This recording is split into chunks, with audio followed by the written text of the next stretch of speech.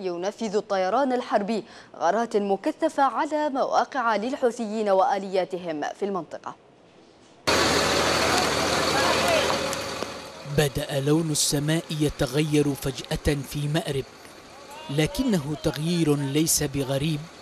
يمكن للحرب أيضا أن تضفي طابعها الواقعي أينما تحل.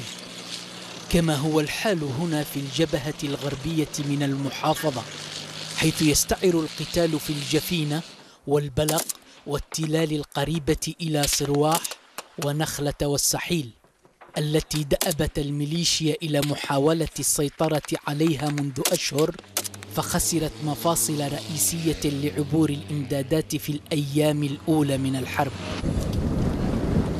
لم تعد هذه الأماكن المريحة للميليشيا اليوم إذ يفقد مقاتل الجماعة المتمردة مواقع استراتيجية تحت نيران كثيفة للمقاومة وبغطاء جوي لطيران التحالف.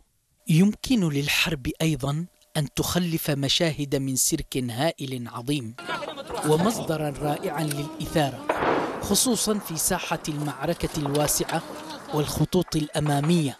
ولو أنها أحيانا تأتي قاتلة كهذه الرصاصة التي كادت تخترق رأس مقاتل هنا فيرد عليها هكذا. وعلى الرغم من أن المواجهات تسير في مأرب بسرعة عداء بطيء إلا أن الأخبار تأتي مسرعة فهناك من يصوب الهدف وهناك من يوثقه.